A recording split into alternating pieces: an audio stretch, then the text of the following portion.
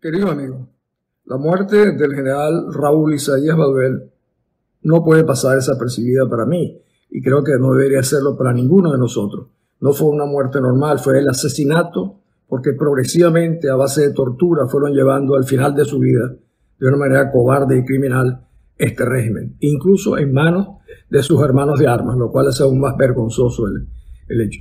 Que lo haya anunciado como resultado del COVID el llamado fiscal hace por supuesto absolutamente increíble. Su propia esposa lo vio el sábado.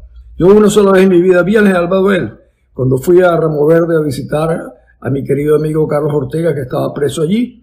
Me dijeron que el general estaba en el otro piso y subí a saludarlo. ¿Por qué? Porque era un preso político. Para mí toda persona que le haya negado sus derechos es un preso político y merece mi solidaridad.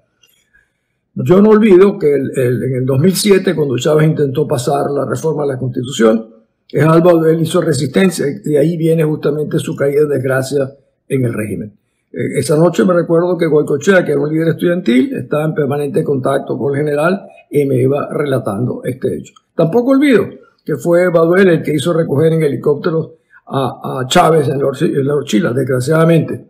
Tampoco olvido cuando vi que Chávez elogiaba a Baduel como un poco el salvador de la patria. Pero en los momentos en los cuales vivimos, la solidaridad con los presos políticos es fundamental. Todavía faltan muchos más que están presos, más de 200.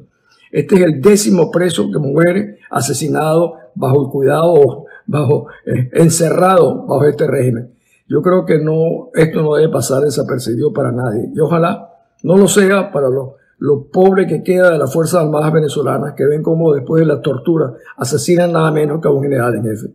Mis condolencias más sentidas a sus hijos, a Raúl Emilio, a quien he conocido, y a su familia, que no, un resto que no conozco, mi solidaridad como venezolano en este infausto y terrible momento para su familia y también para nosotros los venezolanos.